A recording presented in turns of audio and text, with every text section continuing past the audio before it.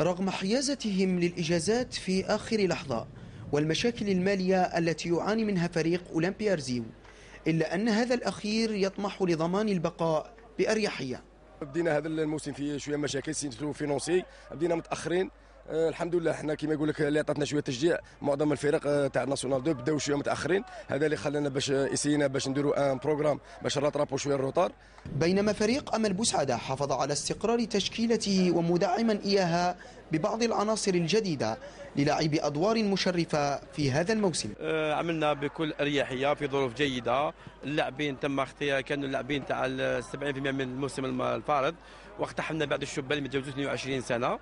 بداية المباراة شهدت ضغطا كبيرا من قبل أصحاب الأرض الذين عرفوا كيف يفرضوا أنفسهم على نسق اللعب وكللت هذه المبادرات بهدف السبق في وقت مبكر عن طريق المهاجم عامر يحيى صاحب القميص الإحدى عشر وفي الدقيقة الحادية عشر.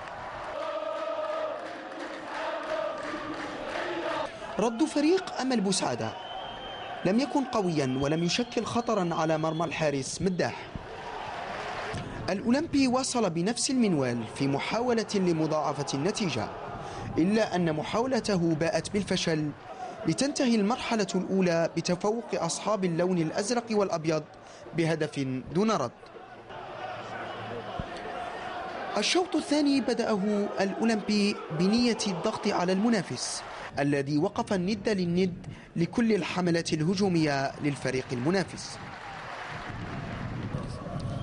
أمل بوسعادة لم يركن إلى الخلف وصنع بعض المحاولات التي أقلقت دفاع الأولمبي ليتمكن من الحصول على ضربة جزاء في الدقيقة السادسة والستين إثر لمسة يد أعلنها الحكم بوستة ضربة الجزاء تولى تنفيذها البديل دريفل بإحكام.